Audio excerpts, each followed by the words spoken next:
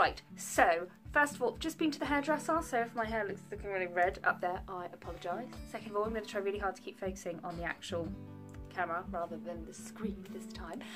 So I just wanted to do this quick video because I just wanted to tell you a little bit more about like the, my YouTube channel, how it works and how it runs and stuff. So if you're not interested, feel free to tune off because I'm not going to talk really about nails much. Um, right, I've got my notes. Um, so first of all, why did I start my YouTube channel? Mainly started it because um, I had a lot of people following me on like YouTube, not YouTube, on Facebook and stuff like that, and saying, "Oh, how did you do this?" and "How did you do that?" and stuff. So it was more because people had asked for it, so I created it um, with the main purpose to kind of show people. So when people say, "Oh, how did you do this nail or that design?" I could say, "Oh, here's the video."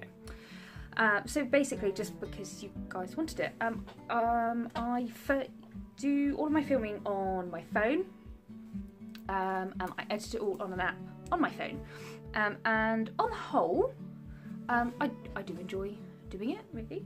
You know, might as well. If I'm doing a set of nails, I might as well record it. But I just wanted to kind of go in a little more in depth as to what that kind of entails. Um, also, I've got a really squeaky chair if you hear that in the background. That's my chair, not my bed. Um, so, first of all, the filming. So when I have my clients come in, it would normally take about an hour and a half, two hours to do um, an average set of nails, really.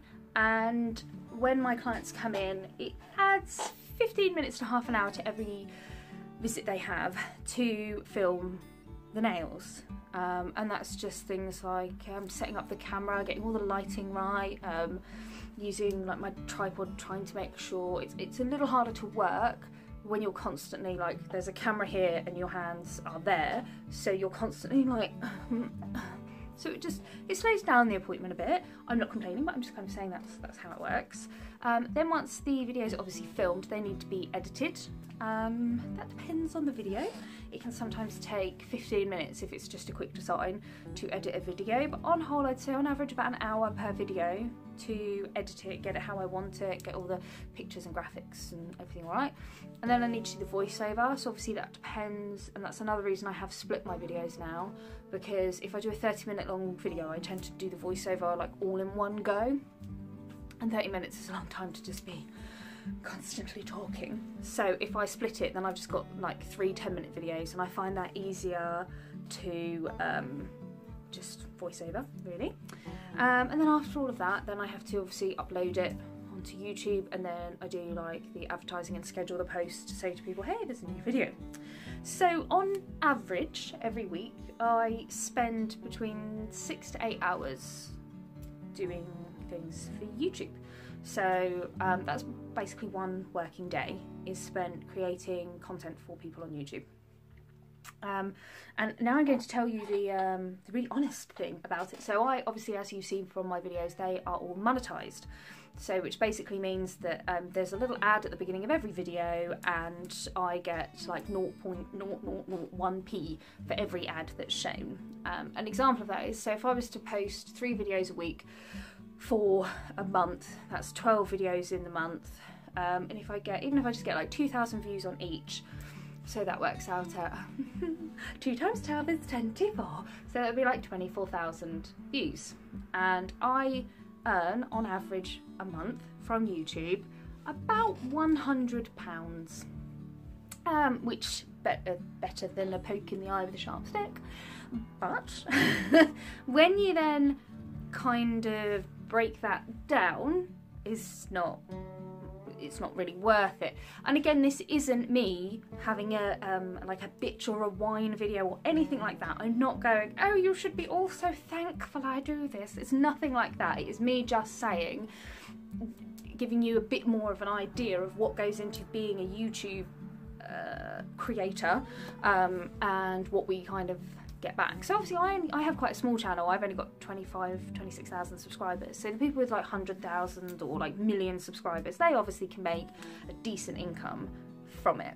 Um, but for the, the smaller ones, like me and a lot of other people, there isn't really any money in it because if you look at £100 a month, so on average I do one working day a week. So most months have like four weeks in, so divide that £100 by four, very simple maths, £25 a day.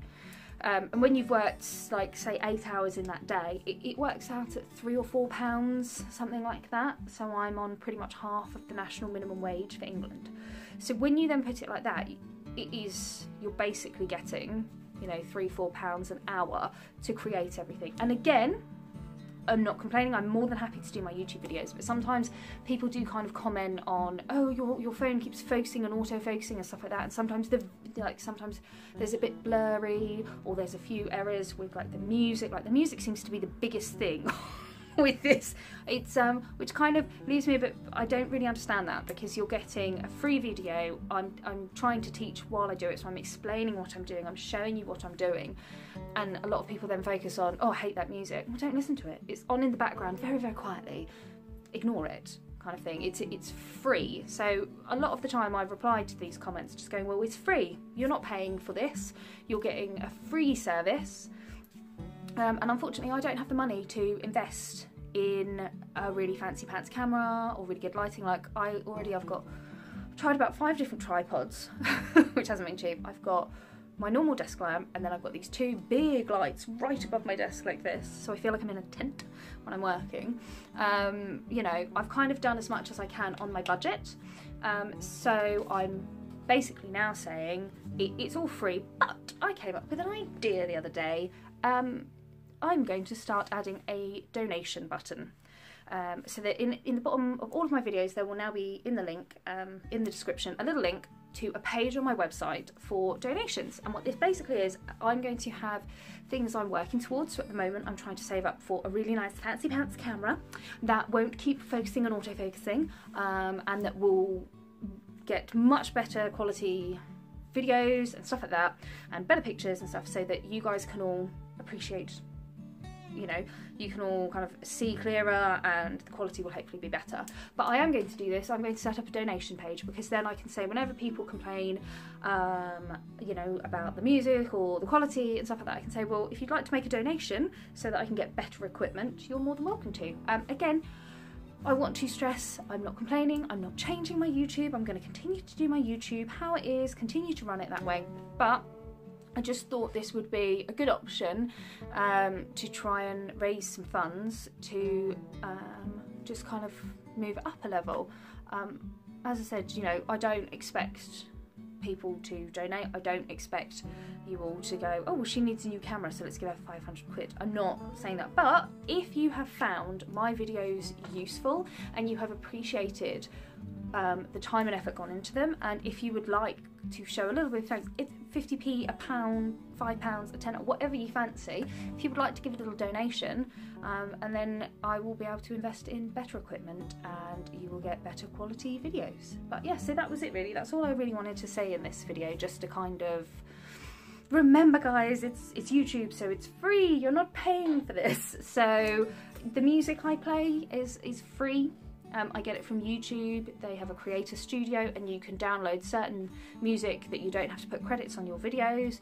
Um, and I just do that because I, I forget you know it's just another thing to put in my notes um, so I will go through those maybe once every couple of months find a couple of tracks I like and then they will be on my videos for the next few months um, again I just don't really have the time to sit and keep changing the music and um, if you don't like my icon in the corner um, sorry it's going to stay there because again I'm a business trying to I'm not trying to take over the world. I'm not trying to become mega rich. I've just got bills that need paying. Um, and at the end of the day, um, if you want things changed and you want things better, then I would encourage you to always go to, you know, pay for your education. that sounds really harsh, I know. But at the end of the day, if you when you watch anyone on YouTube, and this isn't just me, this is everyone on YouTube, if you don't like the way they speak or the way their hair is done or um, you don't like their baby in the background because I know I follow Liz and I know a lot of my followers follow Liz too. The amount of times people comment about the fact she's got a child in the background. She's a mother, I think she's a mother of like five. How she has the time in the day. I forget to feed my dog some days, so it amazes me that this woman can raise five children, be a nail tech, a successful nail tech, have loads of clients, sharing videos with people for free, and then people complain that they can hear a happy baby in the background. Like, it's mind boggling what people complain about. So, um, gone a little off subject there. But my point is basically um, YouTube is all for free, but if you want to help and you want to donate and you want to help me get a nice fancy pants camera so I can start putting out better things, then um, yeah, I'm going to add a donation button. So in future, if anyone wants to have a complain or whine, they can just donate some money and then I will buy better equipment. And then you can complain and you can whine because you've been supporting me and you've funded me doing better fancy pants things. So then if I'm not delivering it, you can tell me off. So that's it really. That's my little ramble for the day. So um, yeah. So thank you very much for tuning in, for listening to me blathering on. Um, and that's it really. So thank you very much for tuning in. Hope to see you all soon. I would love to hear comments on input below. Um, remember, keep it constructive and helpful. If you're just going to be a mean bitch, I will just delete the comment. Pardon my language, but it's true. So, um, I think I did much better focusing on the right bit of the camera. And then I keep looking over here. So I'm like, it's like I keep making you think there's someone behind you. Sorry. Um, okay, so yes, so that's it really. So thank you all for tuning in. Um, that's my ramble, and there will be other proper Noli videos coming again soon. So bye. No, I did it wrong. Bye.